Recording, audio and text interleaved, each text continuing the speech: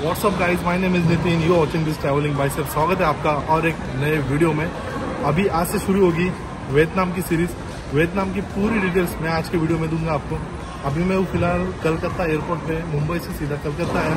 यहाँ पे ट्रांजिट था मेरा और यहाँ से सीधा मैं जाऊँगा। हनोई अभी मेरी फ़्लाइट है थोड़ी देर में। बाकी इन्फॉर्मेशन मैं आपको थोड़ी देर में दूँगा। बोर्डिंग शुरू हो चुकी है। चलते अभी। बहुत भागू भागू हो गया। मुंबई से कलकत्ता आए कलकत्ता से अभी हनोई के लिए फ़्लाइट ले रहे हैं।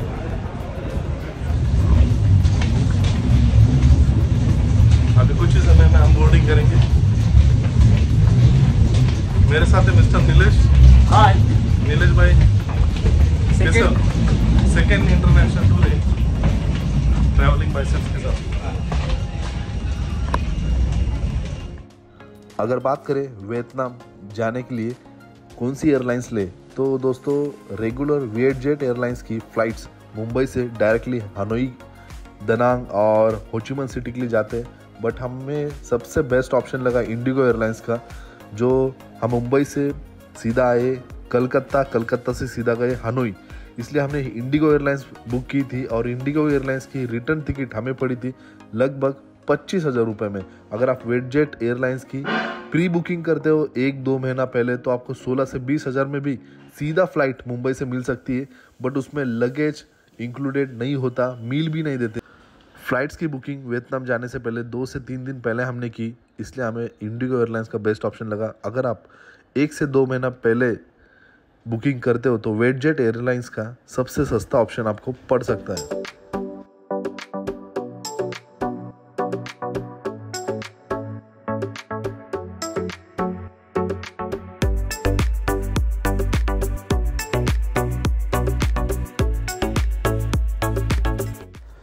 स्वागत है दोस्तों आपका वियतनाम में। सामने दिख रहा है इमिग्रेशन काउंटर इमिग्रेशन में हमें कुछ भी नहीं पूछा, खाली वीज़ा लिया और पासपोर्ट देखा।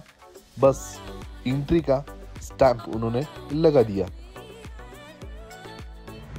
ये जो हमने होटल लिया है होटल का नाम है हमारा गोल्डन मून सूट होटल और यहाँ की गलियाँ देखिए छोटी छोटी गलियाँ हैं।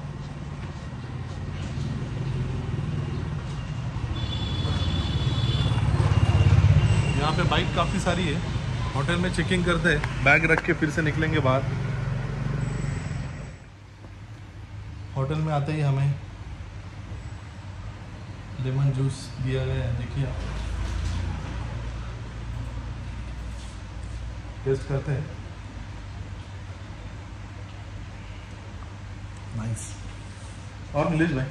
एकदम मज़े में कैसा है वियतनाम वियतनाम बहुत बढ़िया है। इतना बढ़िया है। यहाँ के लोग भी बहुत बढ़िया हैं। और इनका इधर खान पान भी अच्छा है। अभी तो वियतनाम में हमारा फ़र्स्ट डे है। पूरा वियतनाम एक्सप्लोर करना है। अभी हमने जो होटल की बुकिंग की ये वियतनाम के मेन एरिया में की यहाँ पे ट्रेन स्ट्रीट बेयर स्ट्रीट आपको पता है काफ़ी सारी स्ट्रीट है जो हमारे होटल के आजू बाजू में ही है। सारी चीज़ें हम एक्सप्लोर करेंगे। और बात करें अगर वियतनाम आने की तो वियतनाम आने के लिए आपको खाली वीज़ा चाहिए। वीज़ा की वीज़ा कैसा निकाला जाता है इंडियंस के लिए? उसकी लिंक मैं डिस्क्रिप्शन में दे दूँगा। खाली बाईस सौ तेईस सौ रुपये में एक वीज़ा मिल जाता है। वो वीज़ा लेके आप इजीली वियतनाम ट्रैवल कर सकते हो।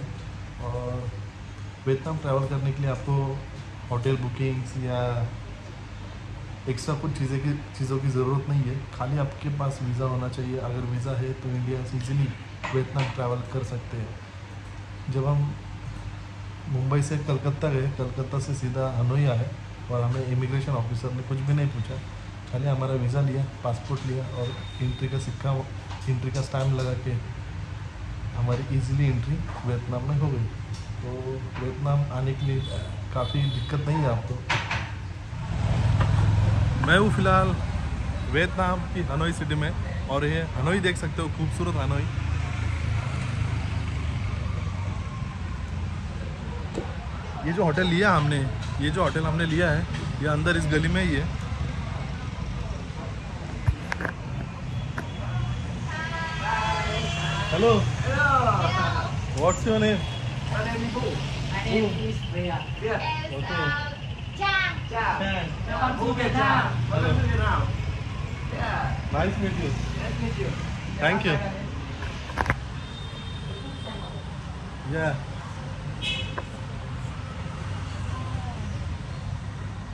यू या ये हमारे होटल के बाहर ही है।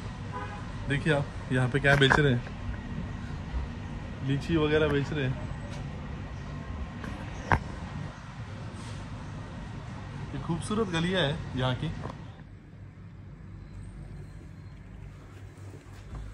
इस कंट्री की करेंसी देखिए वियतनामिंग डोंग इस करेंसी के भी लाले पड़े हैं। भाई साहब, ये दो लाख का नोट है, देखिए।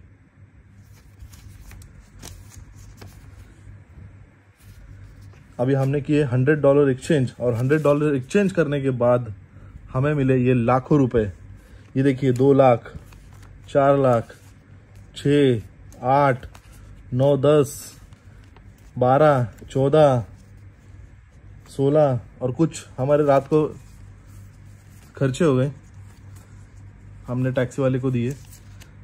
सौ डॉलर में हमें मिले तेईस लाख वियतनामी डॉग। यहाँ पे ये तो हमने एयरपोर्ट पे किया। हम बाहर करेंगे तो हमें लगभग 26 से 27 लाख वियतनामी डॉग मिलेंगे। Good morning Vietnam. ये है हमारा बेडरूम देखिए, यहाँ से दिखने वाला ये खूबसूरत वियतनाम, हनोई का नज़ारा। ये इंडियन पासपोर्ट और यहाँ पे लग चुका है हमारा एंट्री की स्टैंप 16 तारीख को एंट्री हुई है, तीस छः दो हज़ार तेईस तक वैलिड है। अभी 10 दिन हम एक्सप्लोर करेंगे ये खूबसूरत कंट्री वियतनाम अगर बात करें वियतनाम में सिम कार्ड की तो तीन सिम यहाँ पे चलते हैं वेटेल वीनाफोन और मोबीफोन मैंने लिया मोबीफोन जो टूरिस्ट मोबीफोन का सिम था, जिसमें मुझे मिला ये 800 से 900 रुपए इंडियन करेंसी में लगभग 15 दिन वैलिड था और अनलिमिटेड इंटरनेट था। अगर आप एयरटेल का पोस्टपेड कार्ड यूज़ करते हो तो उसका रोमिंग भी ले सकते हो, जो 15 दिन तीन हज़ार रुपये में मिलता है। पर मेरे हिसाब से ये महँगा है, इसलिए वियतनाम का ये सिम आप यूज़ कर सकते हो। अगर वियतनाम सीरीज़ की ये वीडियो पसंद आए तो लाइक और शेयर ज़रूर कीजिएगा। चैनल के सपोर्ट के लिए सब्सक्राइब करना ना भूलिएगा। आने वाली वीडियो में एक्सप्लोर करेंगे खूबसूरत कंट्री वियतनाम को।